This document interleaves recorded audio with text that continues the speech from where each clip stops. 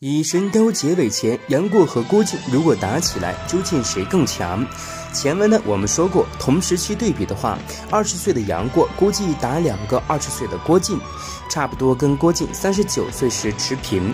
然后就有人问了，如果是到全书完结，三十六岁的杨过战五十五岁的郭靖会怎么样呢？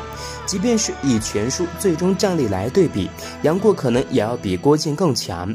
绝情谷的世纪大围殴中，金轮与周伯通、一灯、黄药师的短暂交手，也许看不出什么。金轮自己说不惧任何一人，也可以认为是说明不了什么。但最重要的一条是，五绝之下第一的裘千仞被金轮杀了。前面的视频中我们介绍过，老四绝的综合战力在十四分左右，裘千仞的实力可能只比老四绝弱一分，大约为十三分。金轮杀死裘千仞有一个恐怖的细节，就是当时的金轮应该是还没有把龙象般若功练到第十层。金轮在绝情谷之战中旁白说：“国师自练成十层龙象般若功后，今日方初逢高手。”从这句话判断的话，要么金庸认为裘千仞不算高手，要么就是金轮的龙象般若功是近期大成。答案明显是偏向后者。而金轮能杀死裘千仞，也就是说，如果裘千仞是十三分的实力，那金轮的武功应该是在十四分左右。也就是说，此时的金轮在实力上已经跟老四绝持平，而在一年后，金轮的龙象般若功已经到了第十层，实力大涨。这时应该有十五分左右，实力已经高过了老四绝，这个应该也是合理的。绝情谷之战，一灯和周伯通对金轮都没有造成有效压制，甚至还差点被他打跑了，可见其实力确实不弱于任何一人。而郭靖因为总督襄阳城的战士，成长速度肯定不如金轮的猛修狂练，所以呢，郭靖从三十九岁时的十三分实力，到十六年后大概有十五分左右，而金轮从十六年前的十二分实力到龙象般若功十层，大概也是十五分左右实力。所以五十五岁的郭靖跟十层金轮相比的话，最多也就是伯仲之间。而杨过打金轮，在不动玄铁剑和黯然销魂掌的情况下，就能够将其压制。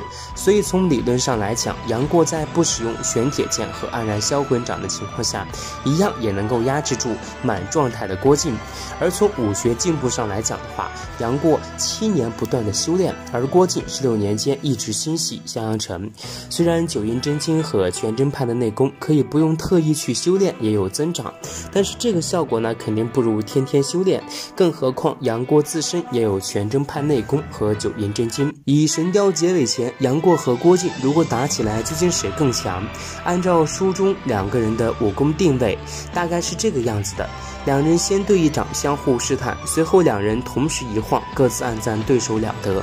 十六年不见，他功力居然精进如斯。杨过但觉郭靖掌力沉雄坚实，是生平之中从未见过；而郭靖则觉得对方的掌力刚猛无助，其势甚至还在自己之上。两人继续交手，数十招一过，郭靖降龙十八掌的劲力忽强忽弱，忽吞忽吐，从至刚之中生出至柔的妙用，非但丝毫不落下风，而且趁隙反扑，越斗越挥洒自如。杨过不由得收起了狂傲之气，以全真派掌法和九阴真经上面记载的武功应对。大约斗了一个时辰，杨过在空手的状态下千招之后，渐渐的有压制郭靖的状态。不过好在郭靖性格扎实，并不急于求胜。他要胜杨过固然无法办到，但若是自己严防死守，杨过想要击败自己也是千难万难。杨过又斗了一会儿，暗想：我虽只有一臂，但正当盛年，与郭伯伯拆到一千招，仍胜他不得。不愧是江湖上闻名的郭大侠。而我这十多年来的功夫，难道是白练的吗？但觉郭靖发来了拳掌之力中稳实刚猛之气，渐盛，心念一动，我持玄铁重剑，即已可无敌于天下，此时不用，更待何时？杨过抽出玄铁重剑，剑来掌去，郭靖顿感压力倍增，又斗了几招，杨过挺剑当胸刺去，郭靖不敢应接，斜走闪避。杨过出剑势大，将周围沙尘直接带起来，郭靖双目被沙尘蒙住，忙伸手去抹。杨过则趁机伸出黯然销魂掌。郭靖虽然遮挡及时，但身体还是中了一招。杨过接连使出六神不安、倒行逆施、穷途末路，跟着又是一招行尸走肉，踢出一脚。这一脚发出时恍恍惚惚、隐隐约约、若有若无，郭靖哪里避得过来？砰的一声，正中胸口，败下阵来。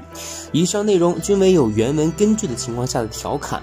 文案上参考了杨过对决裘千仞、周伯通和金轮的旁白与心理描写，而郭靖与杨过的论武阶段自此也正式结束。